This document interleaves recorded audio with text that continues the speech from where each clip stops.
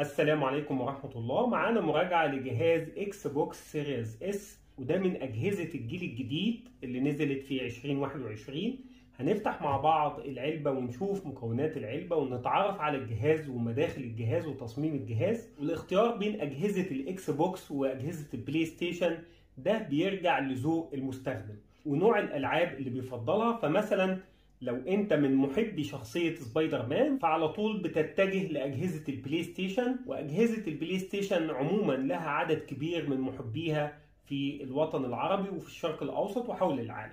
أنا بفضل شخصيا أجهزة ال Xbox من مايكروسوفت وهنتعرف من خلال المراجعة إيه الأسباب اللي بترجح أجهزة ال Xbox وخاصة ال Xbox Series S النسخة اللي موجودة معانا عن أي أجهزة تانية هنتعرف على المميزات هنتعرف على مواصفات الجهاز وكمان هنتكلم عن بعض العيوب اللي موجودة عندنا. أنا محمد علي ما تنساش الاشتراك في القناة وما تنساش الإعجاب بالفيديو ولو عندك أي سؤال اكتبوا لي في التعليقات وإن شاء الله هنجاوب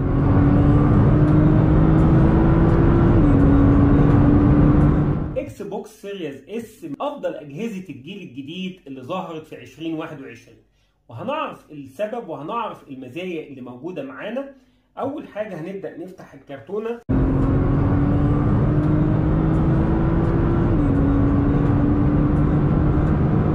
وده ال Xbox اللي موجود معانا Series S أول حاجة الجهاز ده الجهاز معانا ال Xbox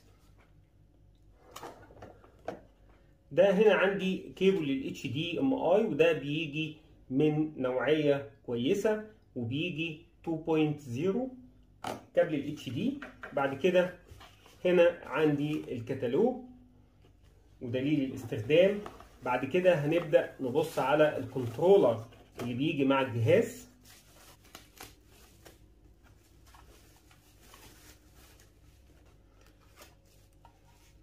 وده ال controller اللي بيجي مع ال Xbox Series S.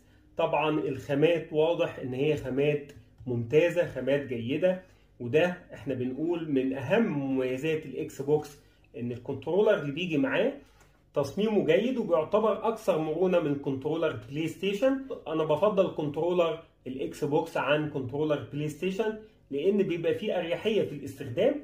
ومايكروسوفت كانت عملت استفتاء هل المستخدمين بيفضلوا البطاريات ال built-in ولا عاوزين بطاريات قابلة للتغيير؟ وأغلب المستخدمين فضلوا البطاريات القابلة للتغيير لأن طبعا البطاريات ال built-in زي ما موجود في ال controller ال PlayStation لما بيحصل فيها مشكلة طبعا من الصعب إنك أنت تغيرها وكده بتضطر إنك تشتري واحد جديد. إنما البطاريات اللي موجودة معانا والقابلة للإزالة دي سهل إن أنا أغيرها أو استبدلها بعد كده هنبدأ نطلع الجهاز نفسه ونشوف الجهاز والمداخل اللي موجودة والمواصفات اللي موجودة معانا من خلال المراجعة نبدأ نفتح طبعا ال Xbox Series S بيمتاز بحجمه حجمه مناسب جدا. بيعتبر أصغر console موجود في الأسواق من الجيل الجديد.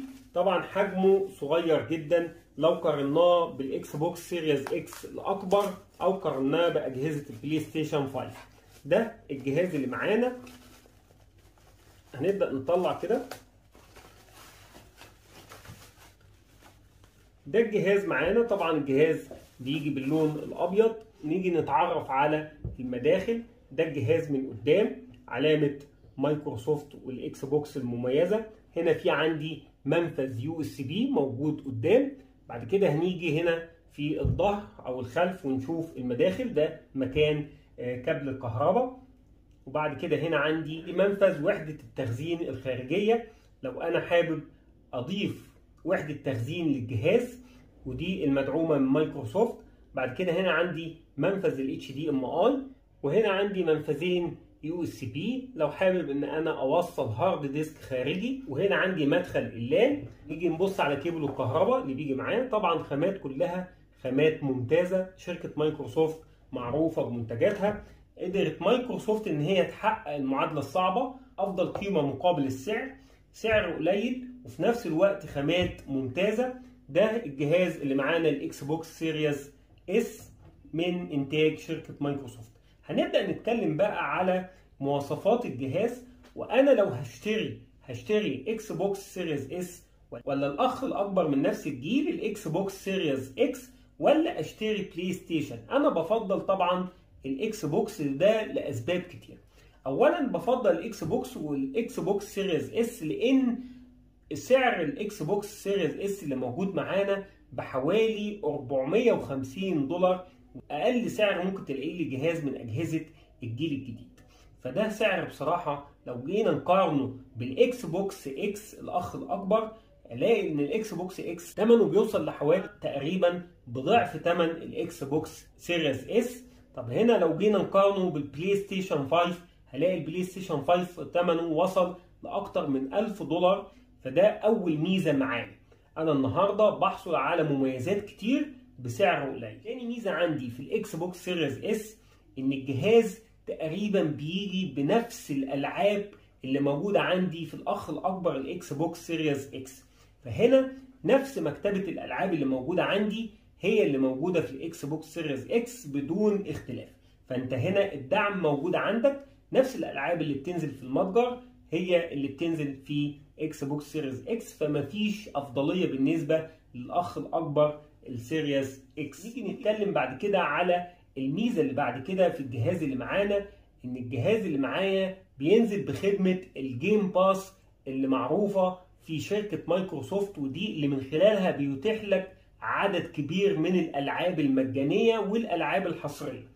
ألعاب مشهورة ألعاب حصرية هتلاقيها في خدمة ال Game Pass اللي من خلالها تقدر تحمل عدد كبير من الألعاب. وده مقابل اشتراك شهري بيبقى بيختلف حسب الدول. فعندي بيبقى الاشتراك تقريبا في حدود 10 دولار في بعض الدول وبيوصل ل 3 دولار في دول تانية زي تركيا. ودي طبعا بتبقى خدمة ممتازة. لو أنا حسبت 3 دولار حوالي 50 جنيه مصري بحصل على عدد كبير من الألعاب الألعاب الحصرية والألعاب المشهورة. فدي ميزة لا تقارن بأي جهاز تاني من اجهزة ال PlayStation أو الأجهزة التانية.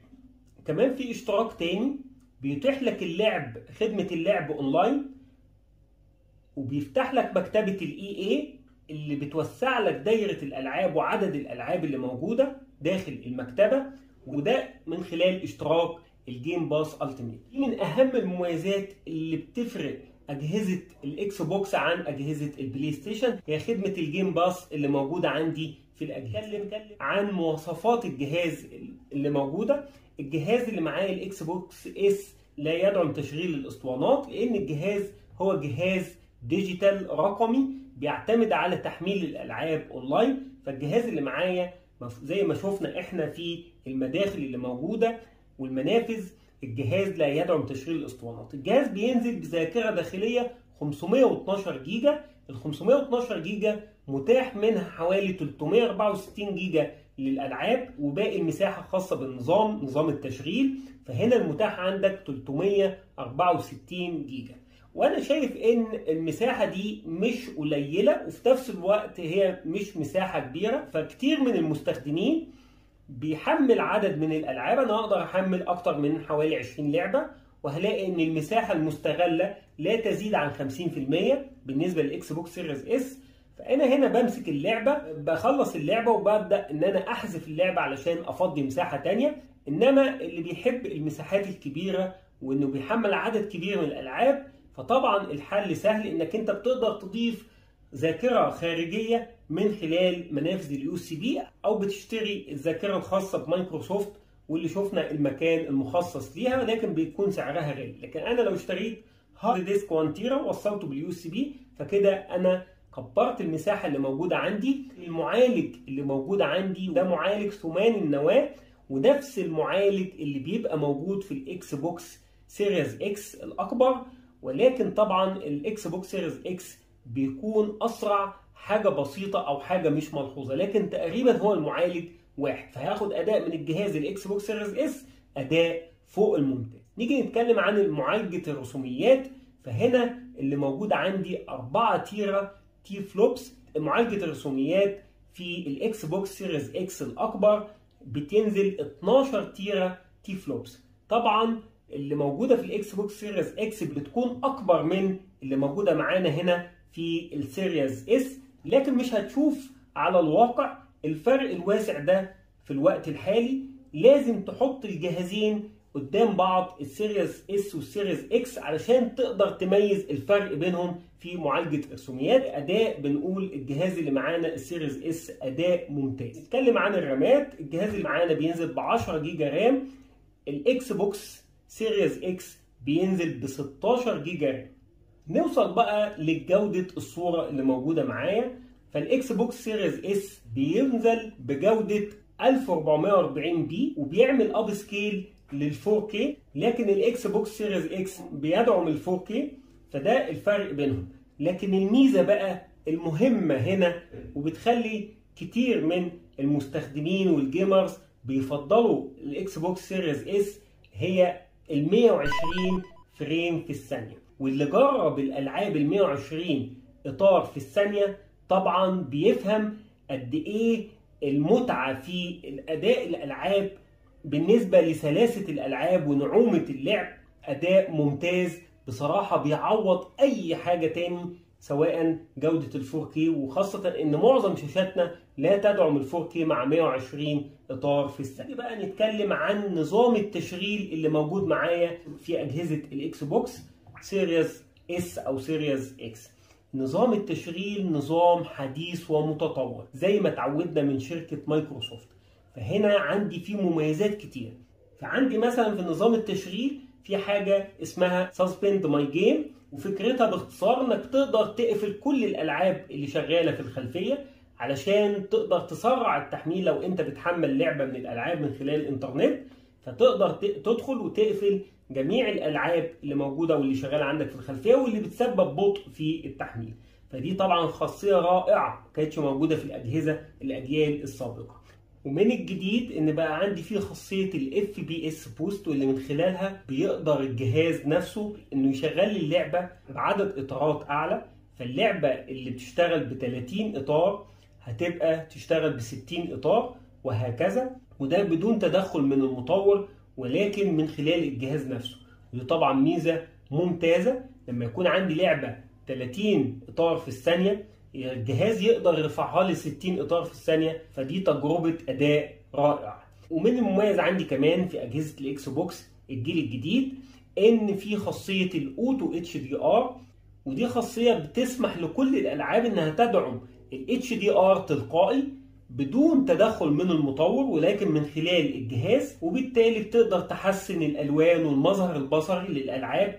لو بتفكر تشتري console فده أفضل حاجة متاحة ليك في الأسواق. لاكتر من ميزة السعر المواصفات الأداء 120 إطار في الثانية مميزات كتير مش ممكن تلاقيها في جهاز تاني بنفس السعر. فده أفضل قيمة مقابل سعر. والسلام عليكم ورحمة الله وبركاته.